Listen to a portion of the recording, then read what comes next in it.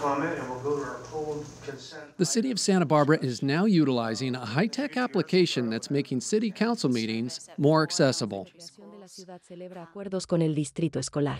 El punto 10, creo, es el programa de recreación después de la escuela.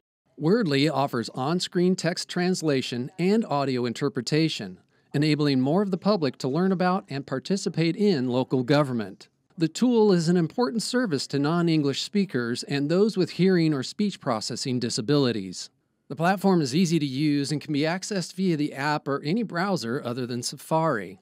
It's accessible on smartphones, tablets, and PCs anywhere there is internet access.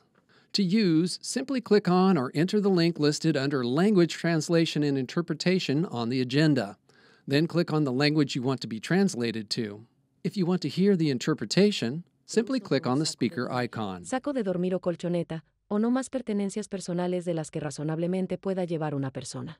Wordly translation and interpretation is currently available during all regular City Council meetings.